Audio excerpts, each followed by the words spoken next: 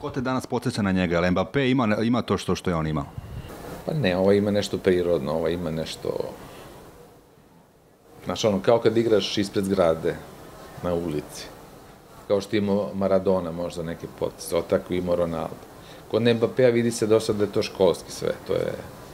Ovaj, on je fenomenalna, ima fenomenalnu brzinu, ima, ali ipak je to drugačije malo.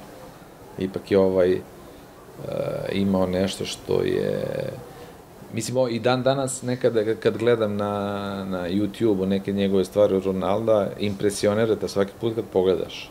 Znači, to su neki potezi, to je, to je takva brzina. Čak i u Realu na kraju, na kraju ovaj, kad je igrao i u tim godinama je radio nevjerojatne stvari. Na momente ideja isto imao to.